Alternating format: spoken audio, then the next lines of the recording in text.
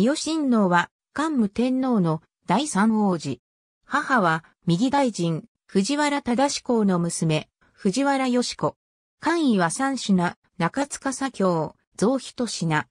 平城天皇に対する謀反の罪により母と共に幽閉され、飲食を断たれて自殺した。延暦11年下官。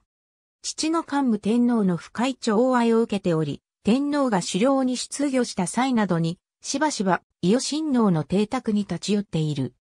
延暦25年、伊母兄の平城天皇が即位すると、伊予親王の外寺、藤原武史ともは大納言として、大上官の自責の地位につき、親王自身も中塚左京県太宰卒に任ぜられるなど、皇族の重鎮となっていた。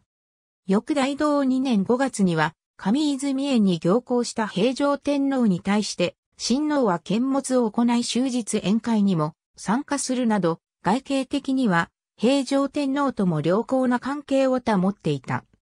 伊予親王居、旗墓しかし、同年10月に藤原宗成が伊予親王に対して謀反を進めているとの情報を藤原武史ともが入手し、右大臣、藤原内麻呂に報告する。ここに至って、伊予親王も宗成が自らに対して、謀反を進めた旨を相乗する。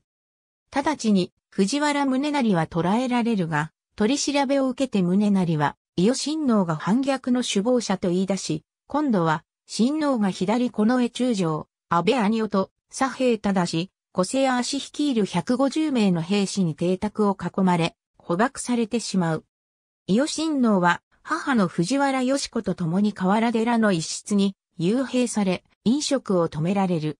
同年11月12日に、伊予親王は、義子と共に毒を仰いで自害した。母子の自殺を聞いて、人々は哀れんだという。